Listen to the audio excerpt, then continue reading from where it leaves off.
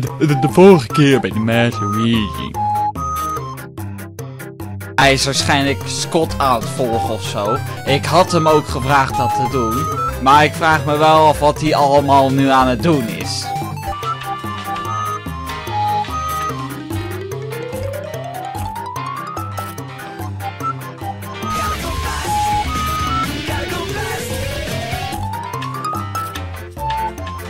En het avontuur gaat verder.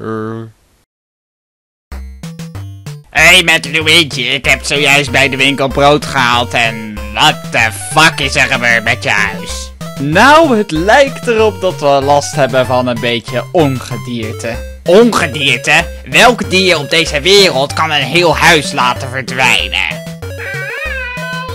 Ja, dit soort ongedierte dus. Wat? Waar komt Kirby nou weer vandaan? Ja, hoe moet ik dat nou weer weten? Ik ben ook maar mens. Maar je moet wel toegeven, Kirby is wel fucking schattig. Ik bedoel, kijk naar hem. Hij is zo schattig en onschuldig. Hij heeft je huis opgegeten met Luigi. Hij is zo schuldig als wat. Ja, maar daar kon hij toch niks aan doen. Hij had gewoon honger. Ja toch, Kirby? Jij zou ons nooit iets aan willen doen. Wat de fuck ben je aan het doen? Nee, Kirby, nee, doe het niet! Oh shit. Ah!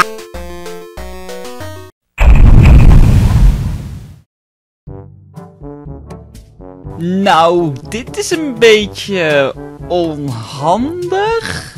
Oh ja, het is heel onhandig, maar niet zo heel erg hoor. We zitten alleen maar in Kirby's fucking maag.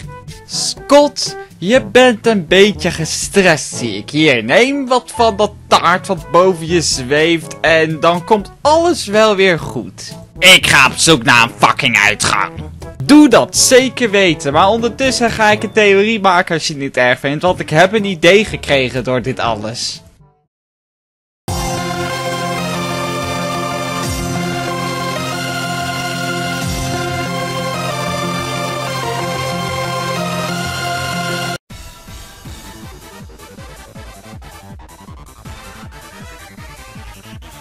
Weet je, ik kan je alvast vertellen dat het niet echt fijn is om in de maag van een rond roze ding te zitten.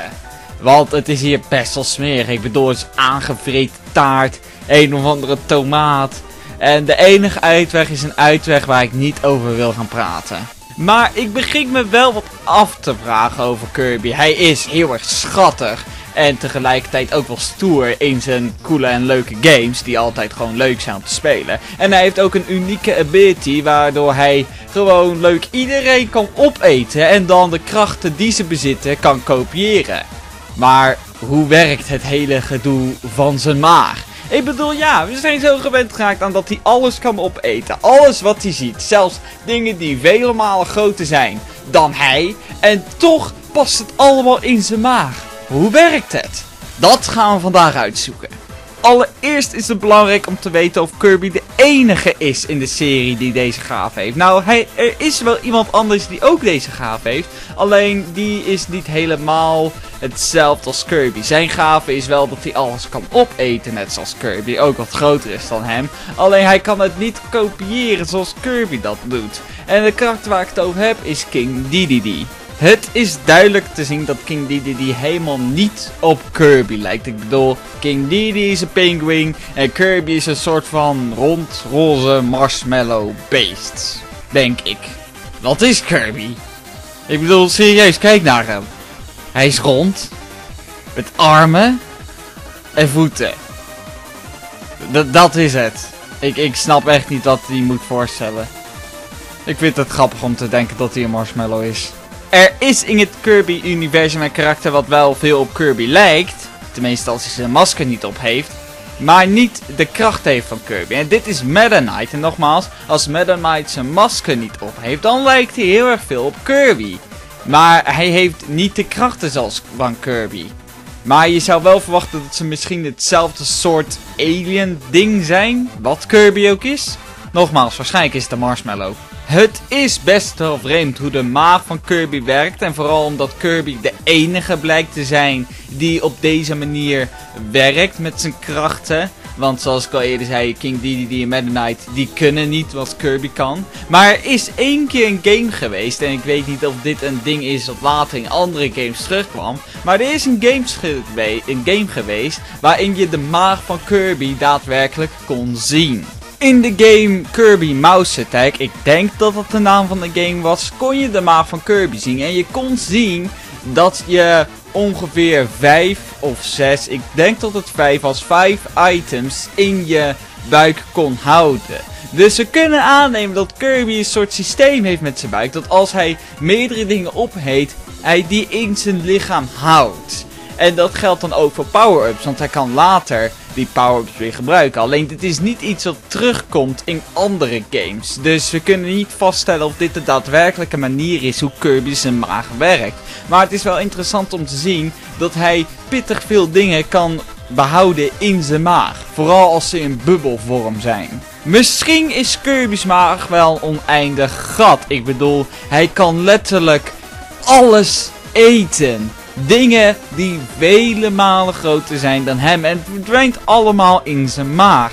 Dus hoe dat zou werken is best wel vreemd. Ik bedoel, we zagen net dat in zijn maag er allemaal sterretjes zijn. Misschien kan dat aanduiden dat zijn maag een heel ander universum is. En dat is waarschijnlijk onzin. Maar het is de meest logische verklaring om te denken dat Kirby's maag gewoon een oneindig gat is waar al dat eten naartoe gaat. En hij lijkt het heel erg lekker te vinden.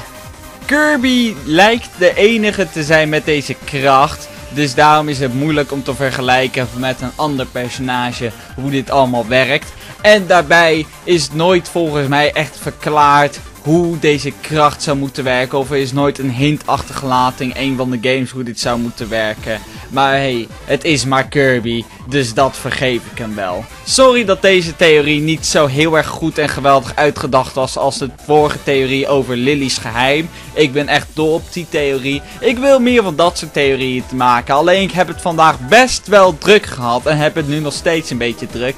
Maar ik wilde nog wel graag een kleine theorie uitbrengen. Dus hier heb je er een. Dus vonden jullie deze theorie leuk? Geef dan een like. Abonneer zou ook wel leuk zijn. En dan zie ik jullie de volgende keer weer. En eh, ik ga Scott maar even helpen met uit dit hele gebeuren te komen. Want het begint hier best wel smerig te worden. Dus geef een like als je deze video leuk vond. En dan zie ik jullie de volgende keer weer. Eh, bye bye.